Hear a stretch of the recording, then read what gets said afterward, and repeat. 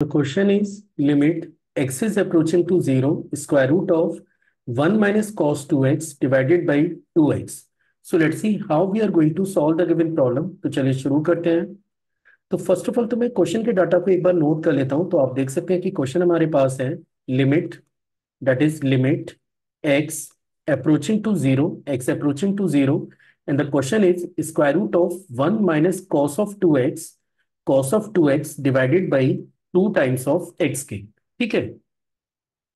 अब देखिए, अगर इन केस अगर आप इस फ़ंक्शन की लिमिट निकालने जा रहे हैं और एक्स को अगर आप ज़ीरो की ओर अप्रोच करते हैं तो आप देख सकते हैं कि इसका न्यूमिनेटर जो है, वो भी आपका ज़ीरो की ओर अप्रोच कर रहा है और डिनोमिनेटर भी आपका ज़ीरो की ओर अप्रोच कर रहा है। Means right now the format is zero upon zero in case अगर आपके पास ज़ीरो बाई ज़ीरो का फॉर्मेट है तो फिर मुझे इसे रिड्यूस करना पड़ेगा फ़ंक्शन की लिमिट निकालने के लिए। तो हम लोग क्या कर? रहे हैं मैंने इसको लिखा limit x tending to zero और न्यूमिनेटर को हम लोग लिख सकते हैं। One minus one plus two times of sine square x divided by two times of x के। मैंने यहाँ पे टिग्नोमेटिकल आइडेंटिटी यूज़ की है which is your cos of two x जिसको आप लिख सकते हैं one minus two times of sine square x के। ठीक है? अब आप देख सकते हैं कि यहाँ पे सबसे पहले तो वन से वन आपका डायरेक्टली कैंसिल हो रहा है। आफ्टर कैंसिलेशन आप इसे लिख पाएँगे limit limit x tending to zero आप देख सकते हैं कि रूट टू आप इसे सेपरेट कर सकते हैं। फिर आपके पास है square root of sine square x और divided by two into x के। अब देखिए, ये जो स्टेप है ना, यहाँ पे आपको केयरफुल होना है। अगर आप जल्दबाजी करेंगे तो फिर यहाँ पे मिस्टेक भी आपसे हो सकती है।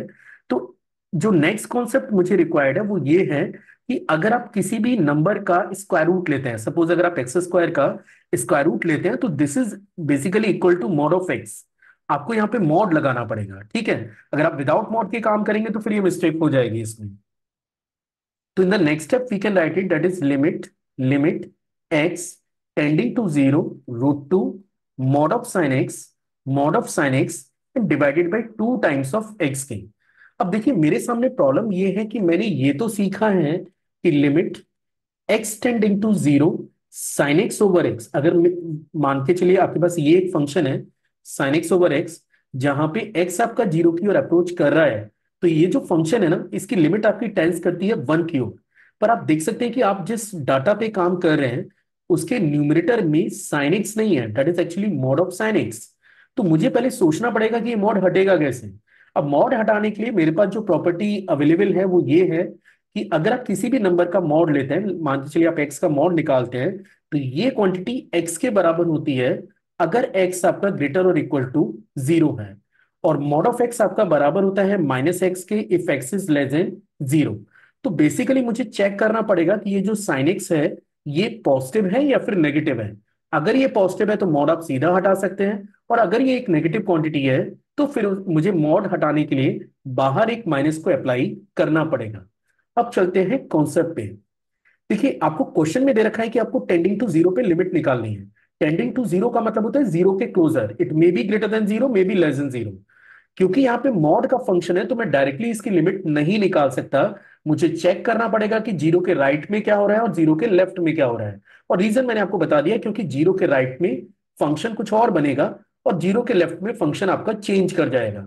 Because the reason is mod mod zero के बाद क्योंकि साइनिक्स जो है वो ज़ीरो के बाद पॉजिटिव होता है ज़ीरो से पहले नेगेटिव होता है. In the first quadrant zero के क्लोजर अगर मैं चेक करूँ तो यही रीजन है कि मुझे इस क्वेश्चन को फर्दर सिंप्लीफाई करने के लिए बोथ साइडेड लिमिट पे काम करना पड़ेगा. तो चलिए सबसे पहले मैं राइट हैंड लिमिट कैलकुलेट कर लेता हूँ. राइट हैंड लिमिट का मतलब होता है कि आप ज़ीरो के राइट साइड में काम कर रहे हैं पहले. अगर मैं ज़ीरो के राइट साइड में काम करूँगा तो मुझे यहाँ पे लिखना होगा x tending to zero plus zero plus का मतलब मतलब होता है you are working on right side of zero now this will become root two इसको आप लिख सकते हैं mod of sine x divided by two x के अब अगर आपको कॉन्सेप्ट ठीक है, अगर आपको लिमिट के कॉन्सेप्ट क्लियर है तो आपको समझना चाहिए कि अगर एक्स आपका ज़ीरो से ज़्यादा है मतलब it is in the first quadrant but closer to zero तो ये जो साइनिक्स है, इसका जो आउटपुट है, ये ऑलरेडी पॉजिटिव क्वांटिटी जनरेट करेगा, है ना? ये हमेशा ही पॉजिटिव क्वांटिटी जनरेट करेगा अगर एक्स आपका ज़ीरो प्लस है मतलब ज़ीरो से थोड़ा ज़्यादा है तो।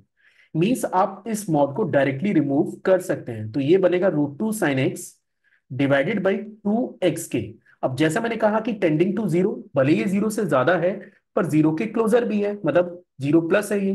तो ये जो रेशियो है साइन एक्स ओवर एक्स ये आपका टेंस करेगा वन की ओर, यानी कि आप इसे लिख सकते हैं वन अपॉन रूट टू तो राइट हैंड लिमिट की बात करें तो right hand limit of the given function is one upon root two अब चेक करते हैं फ़ंक्शन की left hand limit left hand limit निकालने के लिए आपको लिखना पड़ेगा limit x tending to zero minus और ये बनेगा root two mod of sine x divided by two times of x की देखिए, एक तरीका तो वही था जो मैंने आपको राइट हैंड लिमिट में शेयर किया. Left hand right hand limit या लेफ़्ट हैंड लिमिट निकालने का एक और तरीका होता है कि आप ज़ीरो को थोड़ा रिप्लेस कर दें. है ना? रिप्लेसमेंट वाला प्रोसेस भी मैं आपको सिखा देता हूँ. हम लोग क्या करेंगे कि x को मैं रिप्लेस कर दूँगा ज़ीरो माइनस एच से। और यहाँ पे लिखेंगे कि h आपका ज़ीरो की ओर टेंस करता है। अगर h आपका ज़ीरो की ओर टेंस कर रहा है तो ज़ीरो माइनस एच ज़ीरो से छोटी क्वांटिटी होगी बट क्लोजर टू ज़ीरो भी होगी। इस लाइन को आपको समझना चाहिए। h टेंडिंग टू ज़ीरो पे zero minus h is less than zero but closer to zero also इसका मतलब ये हुआ, चलिए पहले मैं रिप्लेसमेंट कर देता हूँ that is root two sine zero minus h का mod divided by two zero minus h. हाँ मैं आपको ये बोल रहा था कि ये जो प्रोसेस मैं राइट, लेफ़्ट हैंड लिमिट के लिए यूज़ कर रहा हूँ, ये सेम प्रोसेस मैं राइट हैंड लिमिट में भी यूज़ कर सकता था। पर मैंने कोशिश की है कि मैं दो डिफरेंट मेथड आपको शेयर करूँ कि आप चाहे तो ऊपर वाले मेथड से भी काम कर सकते हैं या नीचे वाले मेथड से भी काम कर सकते हैं। अब देखिए ये क्या बन रहा है? ये रूट टू है। ये बनेगा mod of sine h minus of sine h divided by two और माइनस एच के मैं एक्सपेक्ट कर रहा हूँ कि ये क्लियर होगा। अब आप देख सकते हैं कि साइन एच आपके पास एक पॉजिटिव क्वांटिटी है, बाहर एक माइनस लगा हुआ है। और अगर आप इसमें मॉड को हटाएँगे तो बाहर फिर से एक माइनस लगाना पड़ेगा, जिससे ये क्वांटिटी पॉजिटिव बन जाए। यानी न्यूमिनेटर को आप लिख सकते हैं root two into sine of h और divided by minus two h आप देख सकते हैं कि फिर से साइन एच अपॉन एच बना है और एच आपका टेंडिंग टू ज़ीरो है। तो sine sine h upon h आपका ये वन की ओर टेंस कर जाएगा और ये मिलेगा minus root two upon two जिसे आप लिख सकते हैं माइनस के वन अपॉन रूट टू के। तो यहाँ पे आप इजीली चेक कर सकते हैं कि फ़ंक्शन की जो लेफ़्ट हैंड लिमिट है, ये आपकी अप्रोच करती है minus one upon root two के। राइट हैंड लिमिट पे बात करें तो ये आपका अप्रोच कर रहा है वन अपॉन रूट टू के। और फ़ंक्शन में जो लेफ़्ट हैंड लिमिट है it is not equal to right hand limit so we have to claim the limit does not exist तो इसमें पूछा था कि इसमें आंसर क्या है? तो ना तो ये वन है, ना माइनस वन है, ना ज़ीरो है।